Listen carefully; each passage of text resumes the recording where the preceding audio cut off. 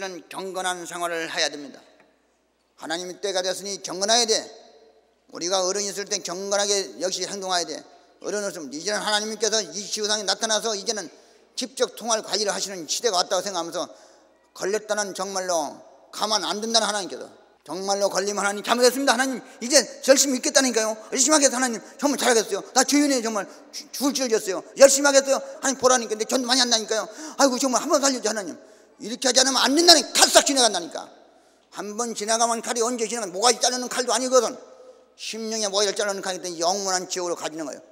그게 심판이라는 거예요. 나는 그걸 겪고 왔어. 너무너무 무서워.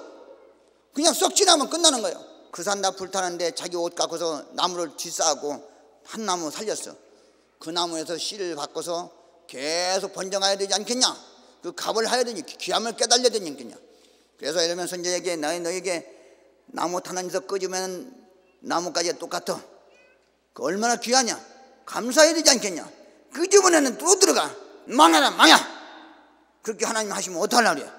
회개하고 자복하고 용서를 빌고 잘못했다고 하고 어디까지나 사람도 아니고 부모도 아니고 형제도 아니고 어, 범죄할 것도 없잖아 하나님 앞에는 나이 차이도 있는데 수천 살 수만 살 수억 살 사이였는데 뭐이 쩝쩝거리고 있어 자기 아무리 의인도 무릎 닦고 하나님 나 정말로 잘못한 도 많소 왜? 너는 못 봤지만 나는 봤어 잘 해결해라 잘됐다 해결해야지 앞으로 이렇게 하지 말도록 해큰 죄다 그게 이와 같이 우리는 깨끗한 사람도 하나님을 때는 더럽다고요. 얘기를 해야 돼. 알겠습니까?